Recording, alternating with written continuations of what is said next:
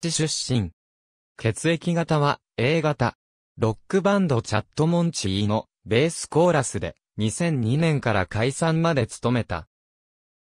中学生の時にテレビで見たスーパーカールに感銘を受けて大ファンになり、ベーシストの古川美希のインタビューを読んで、自分もバンドをできるかもと思いベースを始める。しかし、当初は楽器ができる友達が周りにおらず、一人で練習する辛さからベースを一度挫折し、別のバンドでギターを担当していた。カバーしていたのは、ジッタリンジン、ザ・ハイローズ、ロリータ18号、シーナ・リンゴなど。高校時代に友人に誘われていったチャットモンチーのライブで、普段は高校でおとなしい橋本恵里子が歪んだギター音を鳴らし、叫ぶように歌う姿に驚愕し、以来チャットモンチーのファンになる。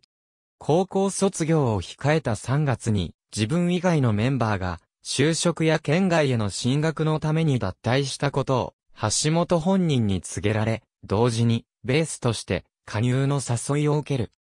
ベースを辞めてから、年月が経ちほとんど弾けない状態であること、自身の加入でチャットモンチーの音楽性が崩れないかという心配などがあったものの、憧れだったチャットモンチーに加入できることを喜び、加入する。大学進学後に、高橋久美子と知り合い、チャットモンチーに加入する。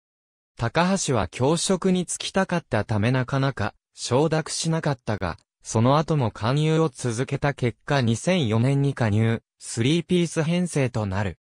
卒業論文では、親子丼についてという題で、レシピを元にした親子丼できたドンという楽曲を制作した。メジャーデビューを機に上京。2011年に高橋が脱退した後はデトロイト7の山口美代子に指示し、ドラムスに転向。2014年にサポートメンバーを加えた4人体制になった後は再びベース主体へ戻る。ライブでは、ベースの他ドラムスやキーボード等も演奏するようになり、マルチプレイヤーとしての才能を発揮している。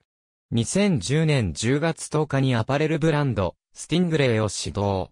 ドットをコンセプトとし、ドット柄を多く取り入れたグッズを制作している。